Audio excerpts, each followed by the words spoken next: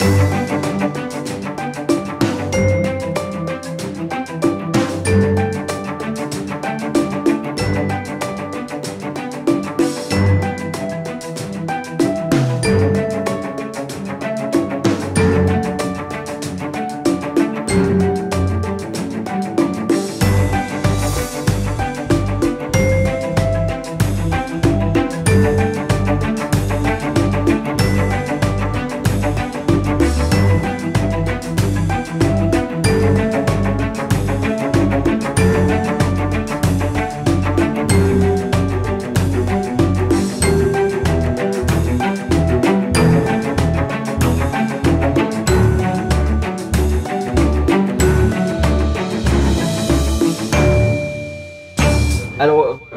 faisait les bandes dessinées.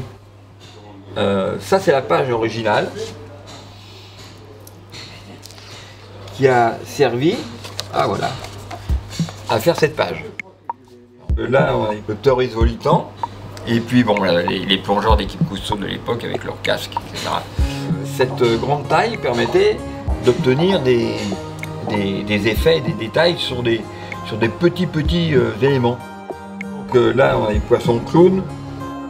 Euh, ça permettait une, une richesse de traits. On fait de la, de la plume et du pinceau à l'encre de Chine. Voilà. Ah ben, la, la mise en couleur était faite après avoir réduit la planche. Et euh, bah, je, je faisais la mise en couleur, ou, ou parfois c'était quelqu'un d'autre qui faisait.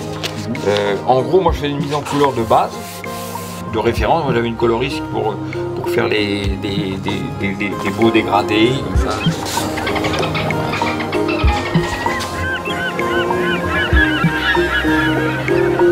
Voilà, ça c'est un livre qui résume euh, à peu près les 50 années que j'ai passées euh, à plonger, à voyager, puis à travailler avec Cousteau.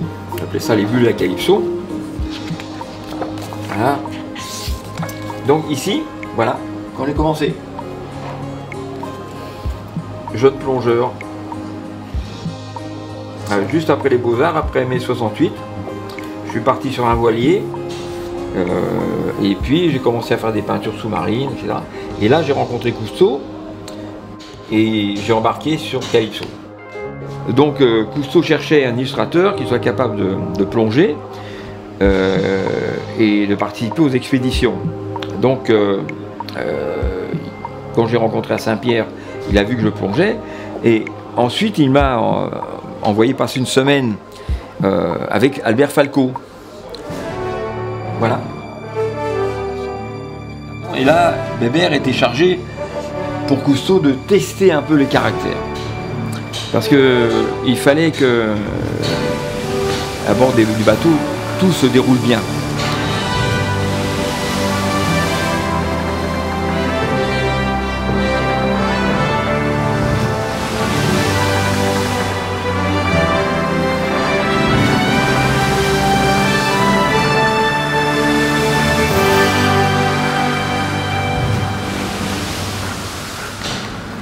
Euh, l'idée c'était de réaliser euh, toute une série d'albums.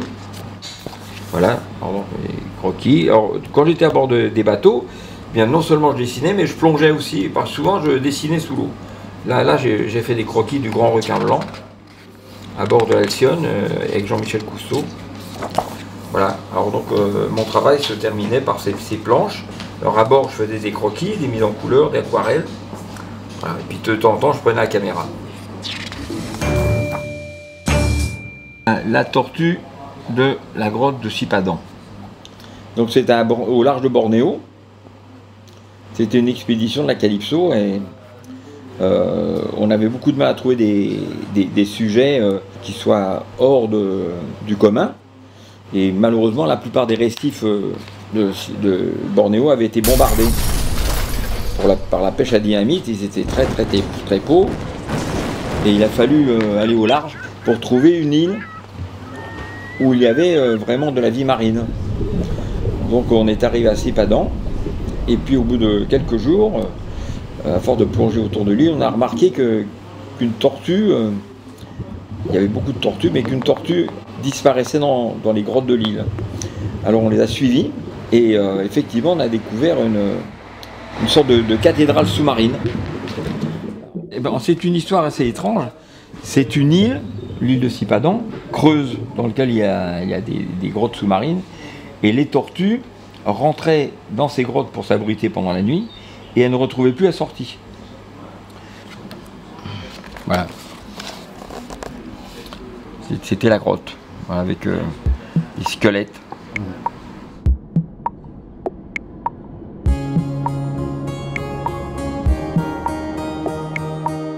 On a tourné un film avec euh, euh, tous les projecteurs. C'était Didier Noireau qui était, chargé d'organiser tout ce tournage. Et c'était un de mes souvenirs les plus extraordinaires. Dans, le, film s'appelle Le spectre sur la tortue.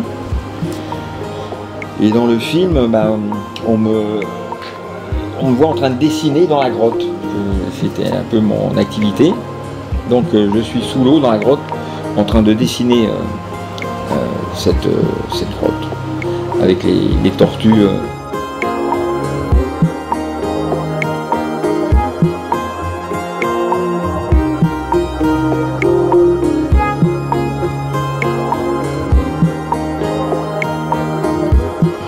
Voilà.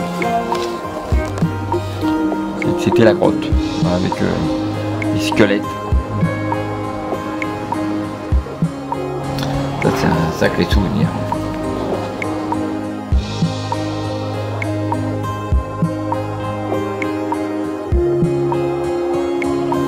Voilà, c'était la grotte du Stipadon.